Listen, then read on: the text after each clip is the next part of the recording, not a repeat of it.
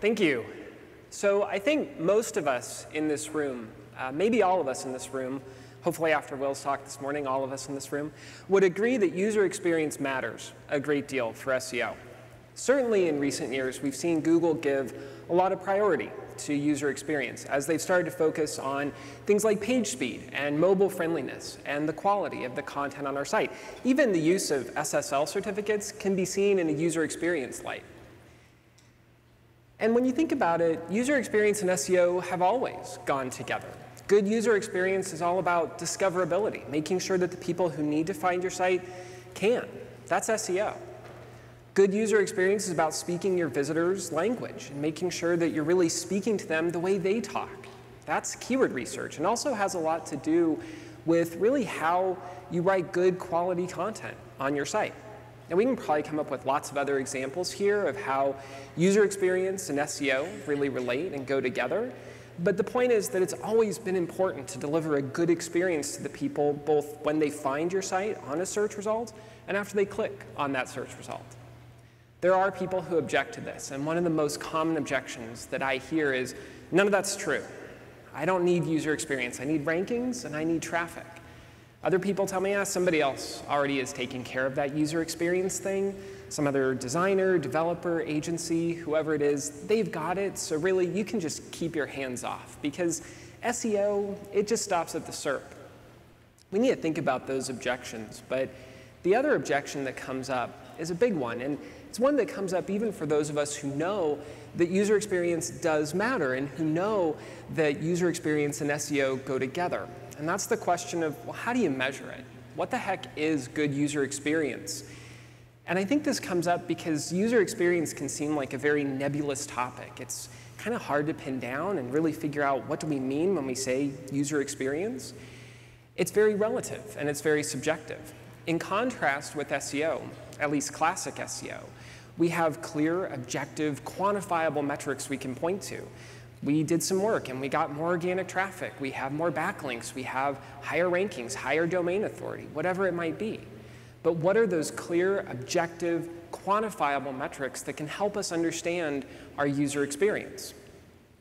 I took that question on as a challenge because I wanted to be able to show my clients first that user experience does in fact matter, but second, that user experience matters alongside and as part of your SEO work. There are ways to measure user experience with things like usability tests or surveys. And while these are really great ways to understand who your visitors are or understand what your visitors might be thinking, how do they connect, really directly connect to your SEO? The other issue with usability tests or surveys is that they're typically only invested in during large-scale redesign or redevelopment projects. But user experience is a long-term and ongoing process, so we need metrics that work for us on a long-term and ongoing basis. You could use things like heat maps or recordings to get at this information. And while these are great tools, just because somebody clicked here or scrolled there, what does that really tell me about how my user experience works alongside my SEO work? So as an alternative, I turn to event tracking and Google Analytics. And there's a lot that we can measure with event tracking, but I want to cover three examples of ways we can use event tracking to really understand something meaningful and interesting about our user experience on our site. I'm going to cover a fair amount of code as I go through everything. So if you want to download any of this code or use any of it, there'll be links to all of it on these slides if you want to download those. So let's begin by talking about how we measure how people browse through or navigate our site. Certainly a key part to creating a great experience is making sure that the people who visit our site can find whatever it is they came to our site to find. And that means we need to track all the different ways people navigate through our site, starting with tracking all the things that people are clicking on. There's a good script that can give us a way to start doing this. And what this script does by default is it tracks all the clicks on outgoing links, downloads, jump links, a couple other types of links. The one type of link that's not tracked by default are internal links, all the links that keep people on your site. Those are the ones we really want to know about when we're thinking about how people navigate our site. So with a quick modification to this code, we can start to track internal links as well. And then in Google Analytics, we can see all the different types of links people click on as an event category. And if you click on that event category, you can see each individual link as the action, and you can figure out how many times people are clicking on those links. Now, that's a good starting point to understand how people really navigate and use our site, but it's not the full story. Just because people click on a link doesn't really tell us a whole lot of information. We need to know more.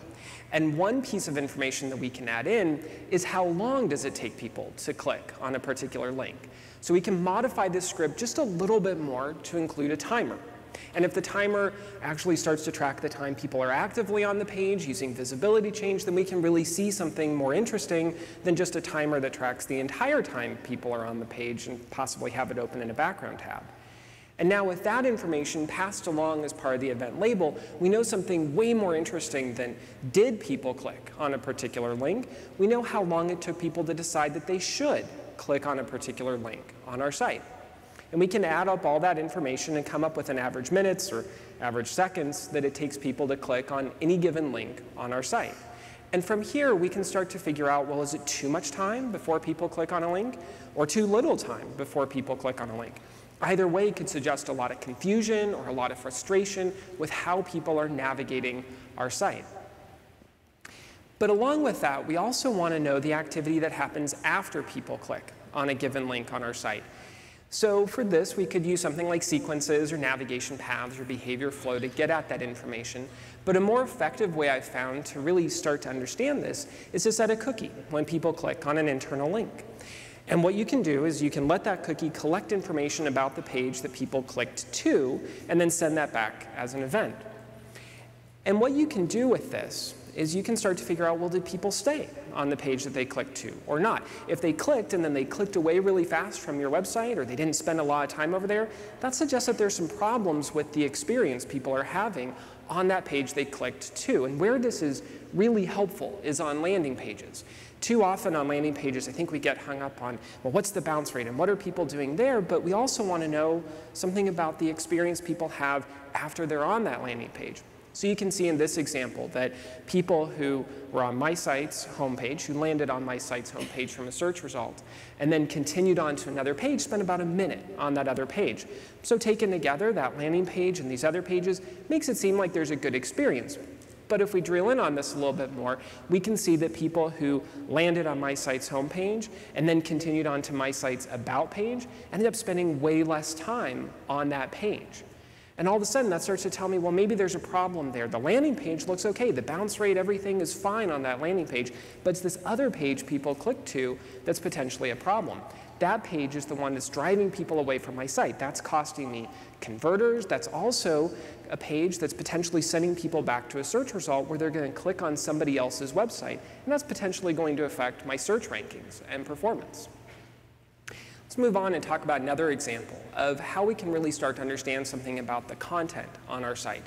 Yes, we want to know how people are clicking and navigating through our site, but there's more to the experience than that. And we want to make sure that people are reading all the content that we've written, that they're scrolling through our design, that they're seeing everything we want them to see.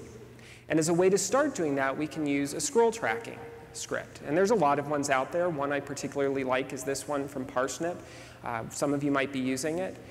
And what these scripts do is they let you know how far down the page people have scrolled.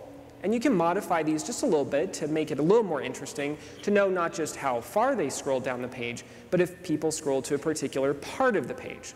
So you can say, well, did people scroll to the 27th paragraph in a really long blog post? Did they scroll to a feature at the end of my page? Or in this example, did they scroll to a call to action?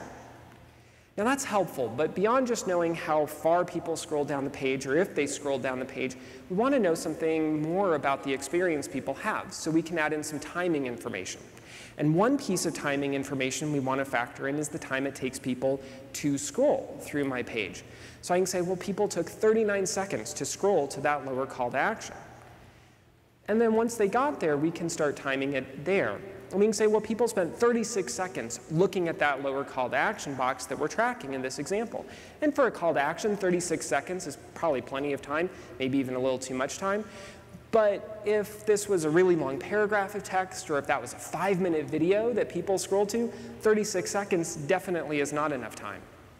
But beyond knowing the time that people spent to it, this is where we can add click information in alongside the scroll information. And so in this example, we can say, well, look, 23 people scrolled to this part of the page, and 11 of those people clicked. Not a bad click-through rate. If only we got more people scrolling to it, maybe we could get more people clicking. That's helpful, but we want to know the bigger picture around scrolling activity and the experience people have.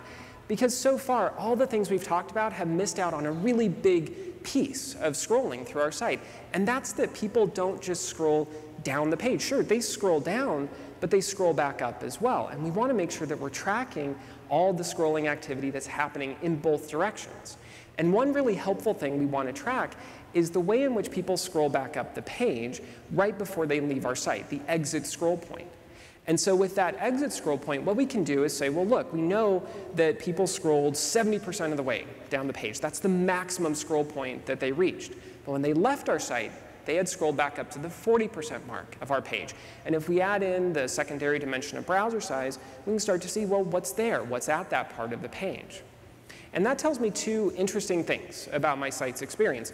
First, it tells me which part of the page people are leaving from, not just looking at the exit page, but the specific part of the exit page I need to improve to keep people around. But the second thing that this tells me is something about what these people are interested in who are on my site. They scrolled back up to see something at that part of the page. They were curious about that. They had a question about that part of my page.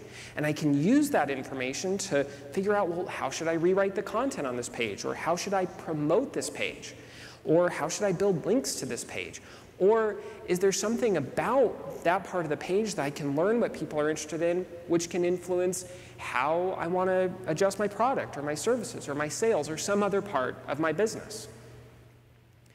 Finally, let's talk about an example of when things break in our site's experience. Yes, we want to know when people are successfully able to, able to navigate our site and when they're able to read through all the content that we've created. But ultimately, some things are going to go wrong. And when things go wrong, we want to know two pieces of information. First, we want to know, well, what did go wrong and how often did that error occur? But second, we want to know, well, what kind of problems uh, were there and how did those affect our site's experience? And when we're talking about errors, we want to look not just at the technical errors that occur, but we want to look at the user errors, the times our users slipped up or made a mistake. And one place where we see a lot of errors, a lot of slips, a lot of mistakes occur is on forms. And no matter what type of form we're talking about, there's lots of different ways things can go wrong. And whenever an error is returned to a visitor on our form, we want to send back an event. And this event can just tell us which specific errors occurred. And the easiest way to do this is to give each error a unique ID number. And so we can say, well, people forgot a digit on their phone number, they made a mistake, that gets one ID number. People uh, maybe got an error with an international phone number, failing to verify, that would be a different ID number. And then in Google Analytics, we can see all the different combinations of errors that people got. We can tally these up to figure out, well, how frequently did each error occur? But this is where we want to know more information about, well, how did that really affect the experience people had filling out that form? So we can segment that event tracking report to see how many of those people who got those errors ended up completing the form. And then we can compare those two numbers. So we can see in this example that people who got error ID number five, well, that occurred pretty frequently with 22 occurrences. But 20 of those people were able to move beyond the error and complete the form. So yes, the error is occurring, but no, it's not really affecting our site's experience all that much. In contrast, error ID number four occurred a lot too, but only seven of the 29 people who got this error were able to move beyond the error and actually complete the form. So all of a sudden, that error looks like a much bigger priority to fix to really improve our site's experience. Now this tells us something about user experience, but it also helps us understand something about our SEO as well, because with this we can say, look, we got good quality traffic to our site from search, and we know that because we got them to our site, we got them to this form, we even got them filling out this form.